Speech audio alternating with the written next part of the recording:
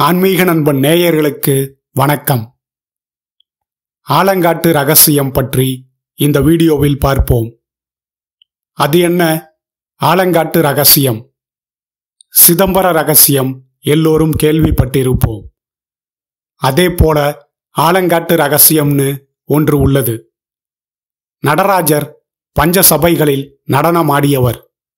நடராஜர் நாட்டியமாடிய முதல் தளம் திருவலங்காடு ஆகும். இங்கு சிவபெருமான் வடராணியேஸ்வரராக கோயில் கொண்டிருக்கிறார். இது ரத்தின சபை என்று போற்றப்படுகிறது. சிதம்பரம் திருத்தலத்தில் நடராஜர் ஆகாய வெளியாக இருப்பதை சிதம்பர ரகசியம் என்பார்கள்.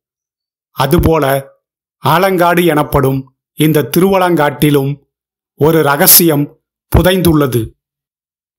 சிவபெருமானை தரிசிக்க காரைக்கால் அம்மையார் கைலாயத்திற்கு தழைகீழாக நடந்து சென்று கொண்டிருந்தார். இப்படி வருவதைக் கண்ட பார்வதி தேவி சிவபெருமானிடம் இவர் யார்? என்று கேட்டாள். அதற்கு பதிலளித்த சிவபெருமான் இவர்கள் என் அம்மை என்றார். வெகு அருகே வந்துவிட்ட காரைக்கால் அம்மையாரை என்ன வரம் வேண்டும்? என சிவபெருமான் கேட்டபோது அதற்கு காரைக்கால் அம்மை எப்போதும் உன் நாட்டிய தரிசனம் காணும் வாக்கியம் எனக்கு வேண்டும் என்றார். அம்மை கேட்ட வரத்தை அப்படியே ஆகட்டும் என்று அருளினார் சிவபெருமான். அந்த சமயத்தில் திருவலங்காடு பகுதியை ஆட்சி செய்து கொண்டிருந்த மன்னனின் கனவில் அன்றே தோன்றினார் சிவபெருமான். காரைக்கால் அம்மையார் இங்குள்ள எம் கோயிலில் தங்கப் போகிறார்.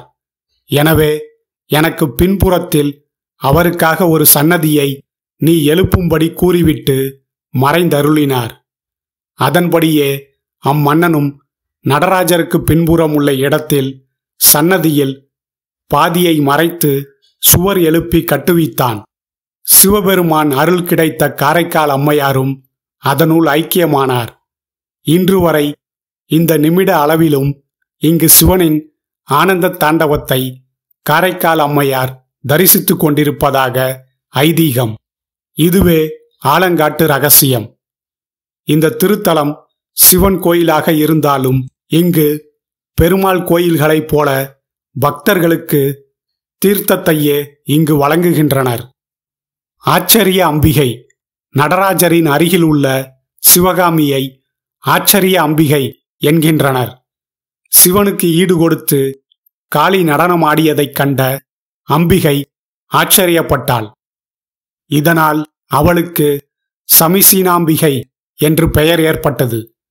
இதற்கு ஆச்சரியம் அடைந்தவள் என்று பொருள்.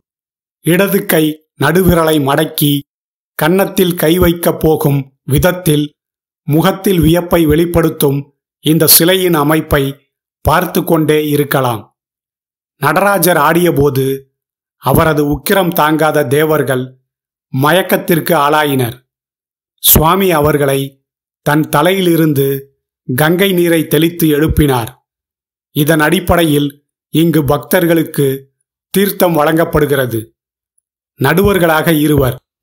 சுனந்தரிஷி என்பவர் சிவ நடனம் காண விரும்பி தவம் இருந்தார். இவரை சுற்றி புற்று வளர்ந்து நாணல் புல் வளர்ந்து மூடியது. இதனால் இவருக்கு முஞ்சிகேசர் முஞ்சி என்றால் நாணல் என்று பெயர் என பெயர் வந்தது. அதே சமயம் கார்கோடகன் என்ற நாகமும் செய்த தவற்றுக்கு மன்னிப்பு வேண்டி இங்கு தவம் இருந்தது. இருவருக்கும் அருளிய சிவன் நடன போட்டிக்கு அவர்களை நடுவராக இருக்கச் செய்தார். சிவ நடனத்தைக் காணும் பேறு இருவருக்கும் கிடைத்தது. நாட்டிய காளி நடராஜருடன் போட்டியிட்ட காளி தேவிக்கு தனி கோயிலும் இங்கு உள்ளது. இவள் காலை தூக்க முயன்ற நிலையில் நாட்டிய காளியாக சாந்தமாக வீற்றிருக்கிறாள். இந்த வீடியோ பிடித்திருந்தா லைக் பண்ணுங்க ஷேர் பண்ணுங்க. இந்த வீடியோ பற்றி உங்க கருத்துக்களை கமெண்ட் பண்ணுங்க. நன்றி.